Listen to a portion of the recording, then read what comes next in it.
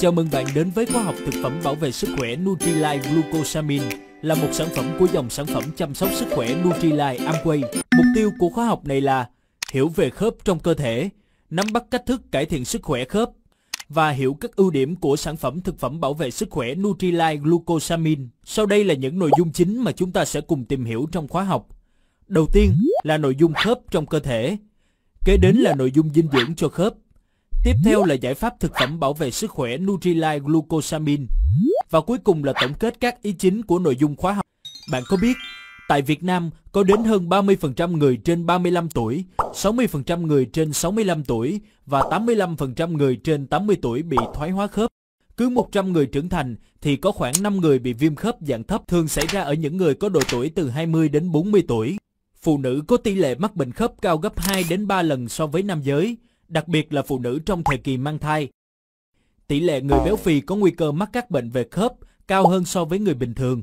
Thực tế, ai trong chúng ta cũng có thể mắc bệnh về khớp. Bạn có thực sự quan tâm đến vấn đề này chưa? Đầu tiên, chúng ta sẽ cùng tìm hiểu về khớp trong cơ thể.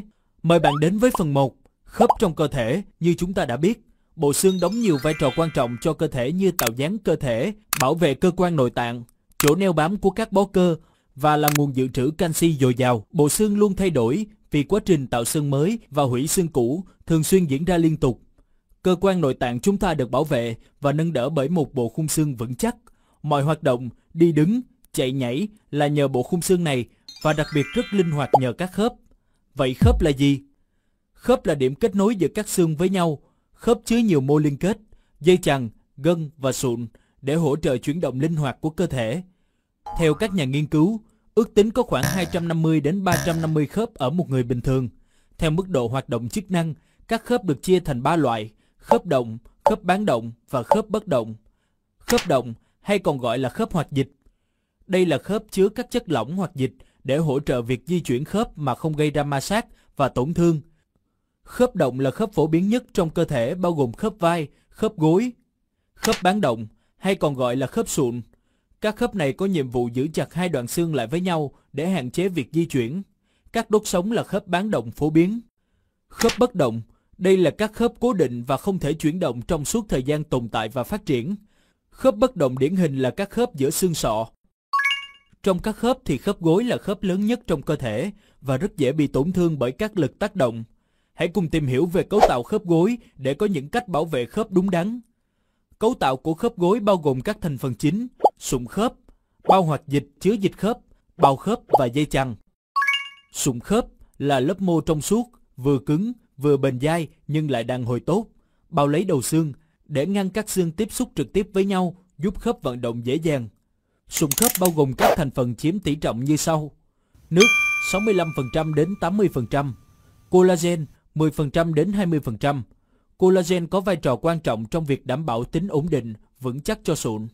Proteoglycan 10% đến 15%. Proteoglycan là các chất căn bản của sụn khớp, nguyên liệu chủ yếu trong quá trình tái tạo mô sụn. Tế bào sụn nhỏ hơn 10%. Tế bào sụn làm nhiệm vụ sản xuất các chất collagen, proteoglycan. Sụn đóng vai trò như lớp đệm bảo vệ, giúp giảm chấn động và tránh sự cọ sát giữa hai đầu xương khi khớp cử động.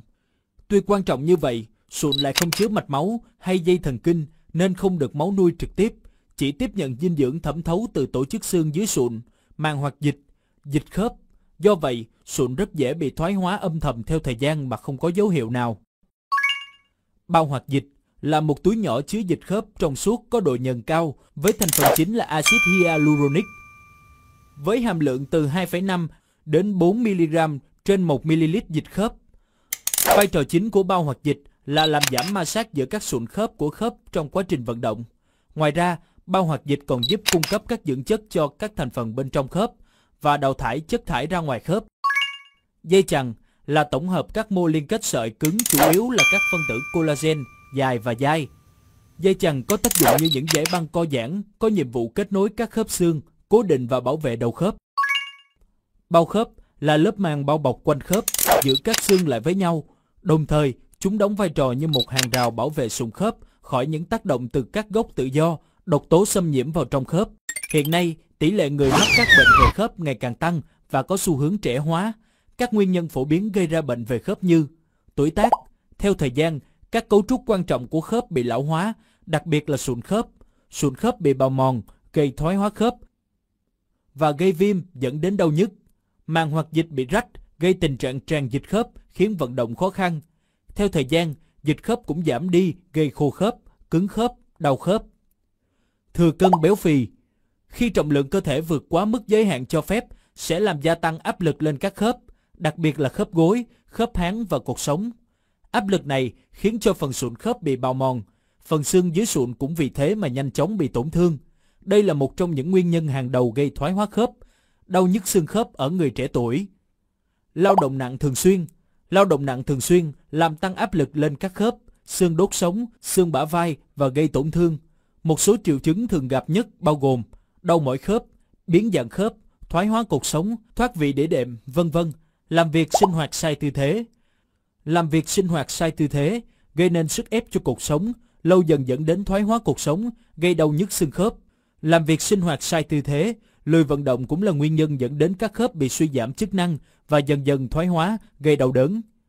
Thiếu hụt các chất dinh dưỡng Thiếu hụt các chất dinh dưỡng cần thiết cho sức khỏe khớp như glucosamine, chondroitin, axit hyaluronic, vitamin C, omega 3, vân vân, dẫn đến thiếu hụt nguồn nguyên liệu cho sụn khớp, gây khô khớp, gia tăng mối nguy thoái hóa khớp, đau nhức xương khớp. Bệnh lý cơ xương khớp là bệnh nghề nghiệp phổ biến nhất thế giới và có tính chất báo động. Đặc biệt ở dân văn phòng, tỷ lệ mắc bệnh cơ xương khớp lên đến 65%, tỷ lệ ngày càng gia tăng do ngồi làm việc sai tư thế khi sử dụng máy tính trong thời gian dài. Hãy cùng nhìn lại các tư thế sinh hoạt không đúng và tư thế sinh hoạt đúng nhé. Tư thế không đúng ảnh hưởng lên các khớp và dây chằng, gia tăng nguy cơ bệnh xương khớp như thoát vị đĩa đệm, thoái hóa cột sống, viêm xương khớp, đau cổ vai, đau lưng, gia tăng lão hóa xương khớp. Ngược lại, giữ gìn tư thế đúng là một việc rất quan trọng, giúp làm giảm sự hao mòn của sụn khớp, giảm căng thẳng dây chằng, ngăn ngừa mỏi cơ, hỗ trợ lưng và cột sống khỏe mạnh. Ngoài việc giữ gìn tư thế đúng, chúng ta cần thực hành thêm một số bí quyết sau để cải thiện sức khỏe khớp như hoạt động thể chất, giúp tăng cường sức mạnh cho mô sụn, hỗ trợ các khớp, tăng sức mạnh cho cơ bắp, giúp chúng ta có hệ cơ xương khớp chắc khỏe, duy trì cân nặng hợp lý. Các nghiên cứu cho thấy giảm cân giúp giảm đau nhức đầu gối, viêm khớp, kiểm soát căng thẳng.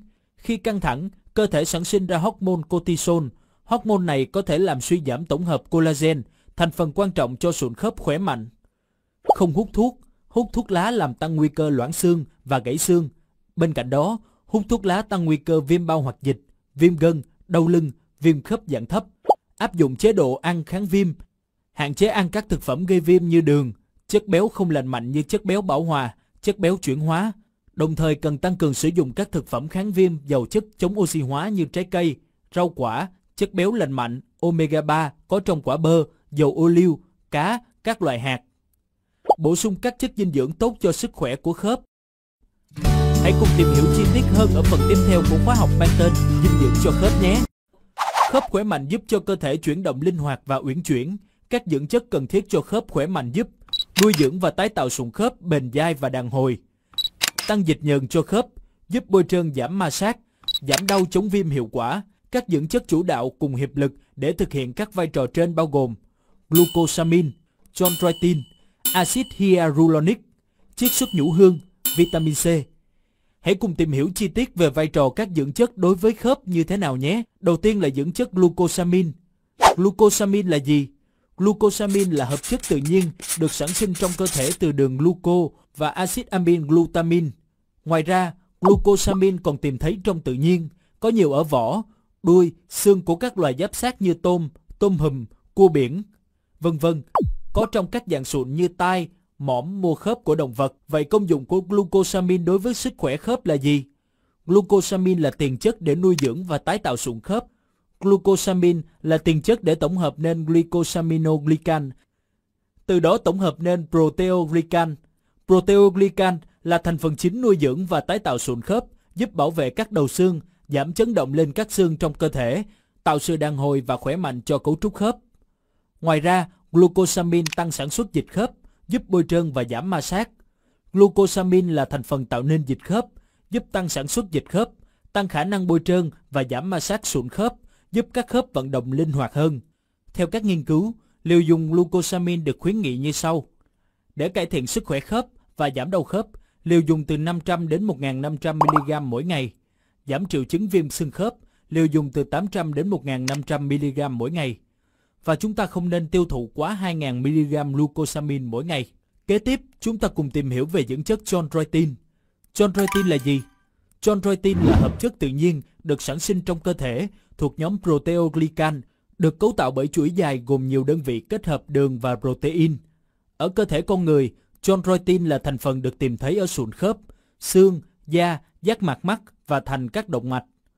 Trong tự nhiên, chondroitin được tìm thấy trong sụn cá, vây cá, sụn động vật và xương động vật. Đặc biệt, chondroitin chiết xuất từ sụn cá mập là nguồn chondroitin chất lượng cao. Công dụng của chondroitin đối với sức khỏe khớp Chondroitin giúp kích thích tổng hợp proteoglycan, collagen.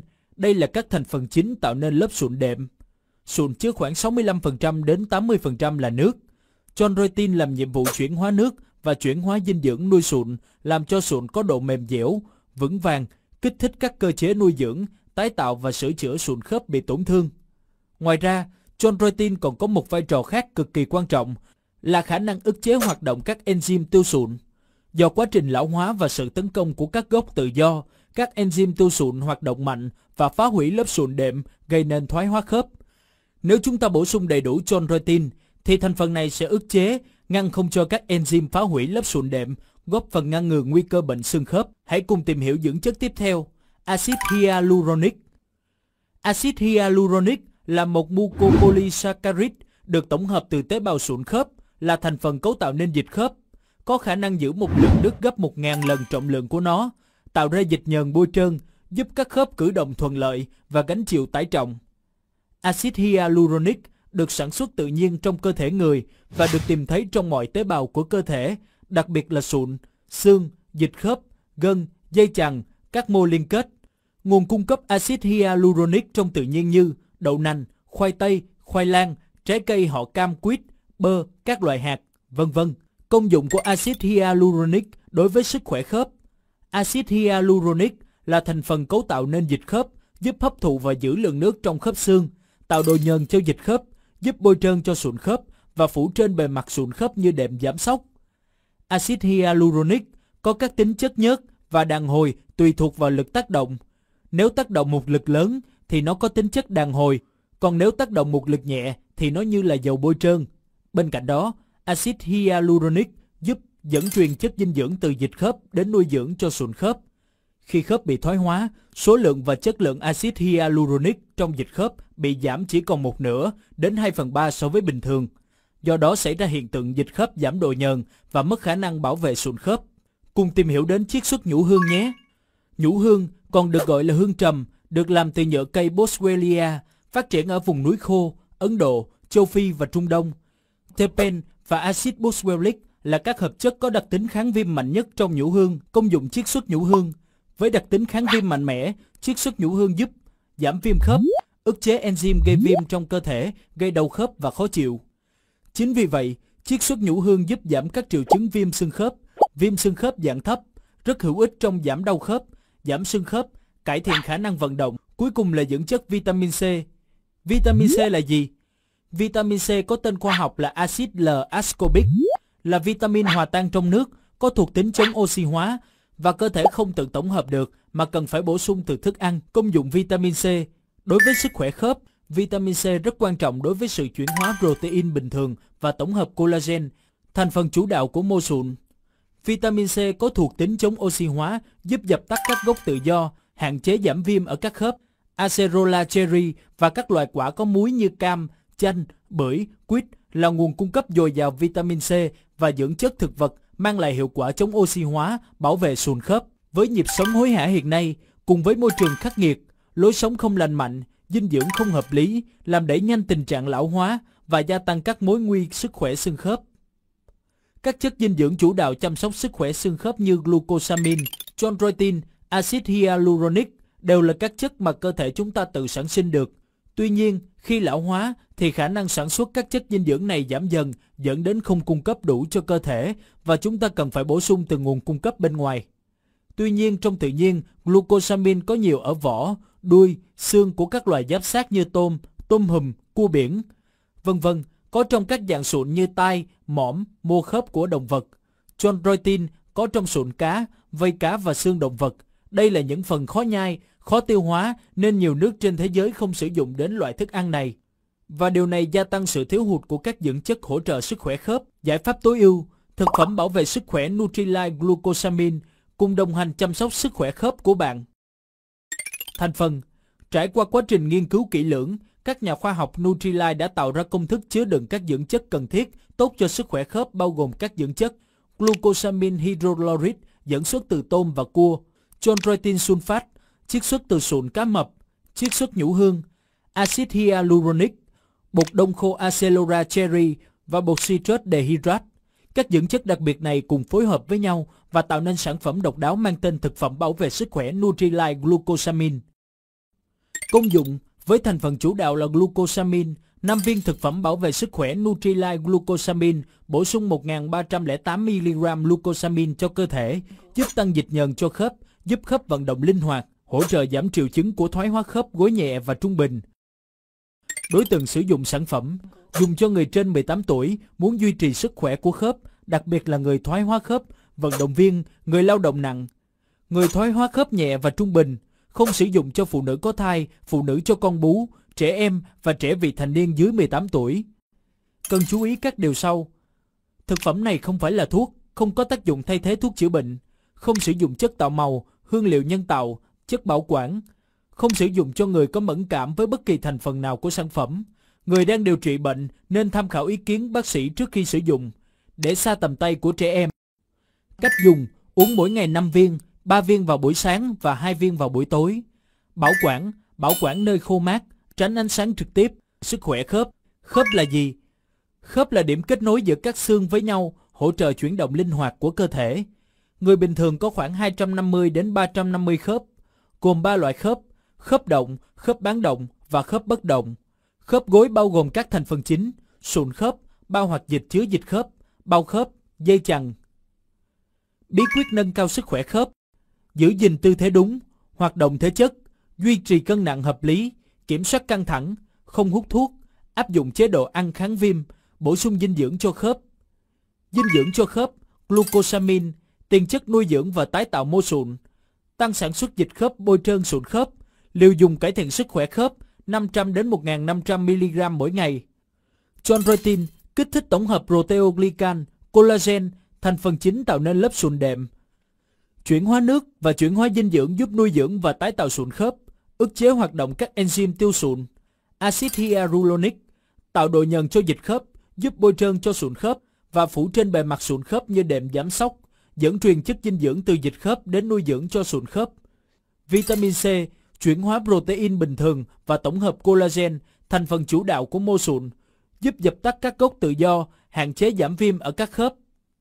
Chiết xuất nhũ hương, giảm viêm khớp, ức chế enzyme gây viêm, thực phẩm bảo vệ sức khỏe Nutrilite Glucosamine, thành phần, thực phẩm bảo vệ sức khỏe Nutrilite Glucosamine chứa các thành phần glucosamine hydrochloride, chondroitin sulfate, chiết xuất vũ hương, axit hyaluronic, bột đông khô acerola cherry và bột citrus dehydrat.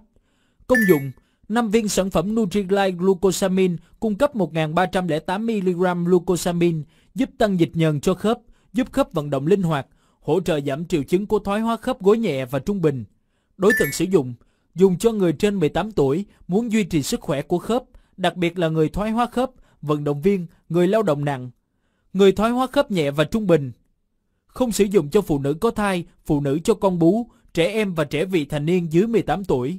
Uống 5 viên thực phẩm bảo vệ sức khỏe Nutrilite Glucosamine mỗi ngày là giải pháp thuận tiện, nhanh chóng để chăm sóc sức khỏe khớp.